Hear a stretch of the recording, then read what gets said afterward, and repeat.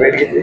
महाराष्ट्राप्रमाणे बीडचाही विषय आहे. त्याच्यामुळे बीडचा विषय आज काही बीडचा दुसरा विषय नाही पण बीडचा ज्या विधानसभेच्या निवडणुकीची तयारी असते त्या तयारीप्रमाणे जे काही नियोजन आहे ते नियोजन करतो तुमचे अ, गेवराईचे आमदार आहेत लक्ष्मण पवार. यांचा एक व्हिडिओ व्हायरल झाला आहे की ते असं म्हणतात की मनोज जरांगे यांचा अजेंडा वेगळा आहे आणि माझा अजेंडा वेगळा आहे. मी माझ्या पक्षाच्या अजेंड्याप्रमाणे वागणार एक प्रकारे कुठेतरी मनोज जरांगे आणि मराठा समाजालाच त्यांनी आव्हान दिलेलं आहे.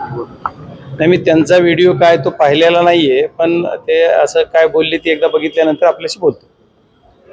पवार साहेबांनी काय सूचना दिल्या नाही जिल्ह्यामधले जी आता परिस्थिती आहे त्या परिस्थितीला लोकसभेच्या निवडणुकीच्या नंतर ज्या आमच्या सर्व पदाधिकारी असतील सर्व आमच्या क जी सर्व कार्यकर्ते असतील या कार्यकर्त्यांना सर्वांना सूचना देऊन येणाऱ्या जिल्हा परिषद पंचायत समितीच्या निवडणूक आपल्या दोन दोन वर्षाने झालेल्या नाहीत. त्याची जी लोकांची ने नेरेटिव्ह आहे तिच्या त्या पद्धतीने आपल्याला या विधानसभेच्या निवडणुकीला काय करून आपल्याला आपल्या सर्व निवडणूक निवडून आणता येतील याच्यासाठी आपल्याला पूर्ण तयारीला लागायला पाहिजे याच्या सूचना आदरणीय पवार साहेबांनी नवीन जी लोक येतात त्याबाबत काय सूचना लोकांचं नाही हे बघा आता महाराष्ट्रामध्ये आज परिस्थिती अशी आहे की पवार साहेबाकडे येण्याचा लोकांचा प्रभाव जास्त आहे पवार साहेबावर निष्ठा आणि प्रेम आणि पवार साहेब एकच महाराष्ट्रामध्ये असा चेहरा आहे की जे महाराष्ट्राला सांभाळू शकतो असं सर्व जनतेला वाटतंय सर्वांना वाटतंय त्याच्यामुळे सर्व लोक आमच्या पक्षाकडे येण्याची उत्सुकता दाखवत आहेत त्याचा योग्य तो निर्णय आदरणीय जयंत पाटील साहेब आणि पवार साहेब घेतील येणाऱ्या काळात येणाऱ्या काळात येणाऱ्या काळात म्हणजे मराठवाड्यातली राजकीय दिशा ही तिचे इलेक्टेड कॅन्डिडेट लोकप्रतिनिधी ठरवणार आहेत की जरांगी पाटील ठरतील नाही बघा त्या अं, राजकारणात विषय केला तर जरंगे पाटील साहेबांचा इफेक्ट नक्कीच मराठवाड्यात येणारच आहे. त्याच्यावर काही कुणाचं दुमत असायचं कारण नाही.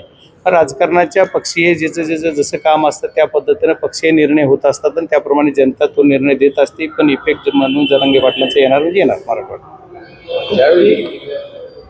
मला आठवतं की लोकसभेच्या वेळी ज्यावेळी सगळं सुरू होतं आरक्षणाचा मुद्दा त्याच्या घडलं असं आहे की महाराष्ट्रात कास्ट फॅब्रिक प्रचंड उसवलं म्हणजे जे फक्त काय मराठी विरुद्ध ओबीसी आणि मराठवाड्यापुरतं राहिलेलं नाही. आता धनगर आदिवासी होत आहे ते आणखी पद्धतीने आता हिंदुत्वादी पक्ष हिंदू मुस्लिम परत करायचा प्रयत्न करतील. निवडणुकांना आपण सगळे सामोरं राहणार नाही ही परिस्थिती फक्त बीड जिल्ह्यापुरती मर्यादित ओबीसी आणि असा जी वाद केला तो बीड जिल्ह्याच्या नेतृत्वाने काही केला. की ते तो पण ओबीसी आणि मराठा असा वाद किंवा ओबीसी ओपन असा वाद नाहीच आहे. तो वाद वेगळ्या पद्धतीने एक पर्टिक्युलर जातीला आमचं काहीतरी नुकसान झालं आहे असं वाटतं तेवढाच विषय आहे. त्याच्यावर दुसरा कुठलाही विषय नाही किंवा ओबीसीमध्ये जेवढे कुठल्या विविध जाती आहेत त्याच्यातल्या कुठल्याही जातींना काही तसं वाटत नाही आहे आणि माझ्या बाबतीत जर लोकसभेला तुम्ही विचारलं तर मला सर्व जाती धर्माच्या सर्व माणसाने मला मतदान केलं आहे म्हणून मी निवडून आलेलो आहे. मला अशी कुठली एखादीही जात नाही की त्या जातीने मला मतदान केलं जातीवर निवडणूक होत नाही आहे ही निवडणूक होते जनतेच्या प्रेमावर आणि जनतेच्या मनातला जो कॅन्डिडेट असेल त्याला मतदान देण्यावर लोकशाही पद्धतीने. त्याच्यामुळे जातीवरली नाही.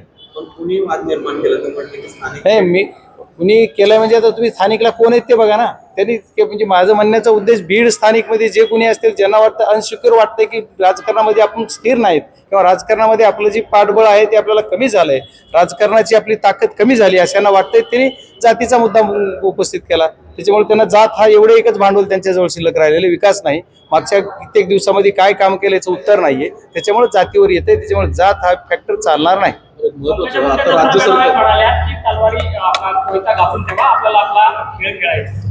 आता त्या दसरा मेळाव्यात पैता घासून ठेवायला सांगतात गेली दोन पिढ्या झालं पैताच घासायला लावतात कधीतरी ऊस लावायला लावा ना. माझ्या बीड जिल्ह्यातल्या जनतेला ऊस बी लावायला लावा. पैताच घासून तोडायला लावतात त्याच्यावरच भांडवल करतात त्याच्यावरच राजकारण करतात. हे कुठंतरी थांबलं पाहिजे.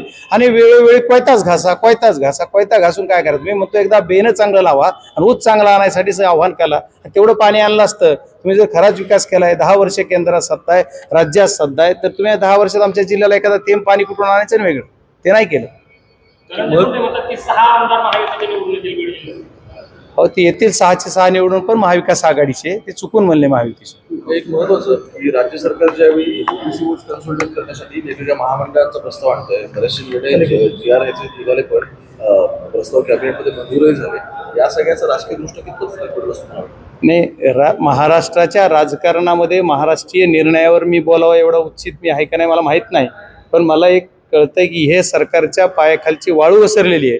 यांना आता काहीच कळत नाही. हेच जर निर्णय जेवढे ह्या महिन्यात घेतलेत त्यांनी किंवा या दोन महिन्यात तीन महिन्यात लाडकी बहीण ज्या दिवशी घेतला निर्णय तेव्हापासून म्हणजे लोकसभेच्या आफ्टर जे निर्णय घेतले हे निर्णय जर अगोदर बिफोर लोकसभा घेतले असते तर लोकांना काहीतरी चांगलं वाटलं असतं लोकांच्या हिताचे झाले असते ते निवडणुकी डोळ्यासमोर ठेवून घेतलेले हे निर्णय हे लोकांना कळायले ना?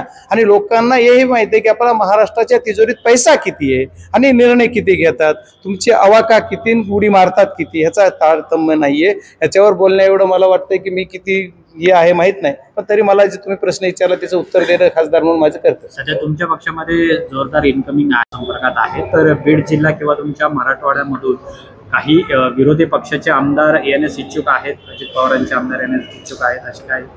नाही आम्हाला कुठल्या कोणाची येणार त्याच्यापेक्षा सर्व पक्षाचे लोक आमच्या पक्षात येण्याला इच्छुक आहेत. पण त्याचा सर्वस्वी निर्णय आहे तो जयंत पाटील साहेब आणि आदरणीय शरद पवार साहेब घेणार आहेत. त्याच्यामुळे त्याच्यावर कुठलं बोलणं उचित होणार नाही. एका पक्षातले नाही सर्व पक्षातले लोक आमच्याकडे यायला इच्छुक आहेत. आणि येणाऱ्या काळात तुम्हाला लेट अँड नीट काय थोडंसं वाच करा.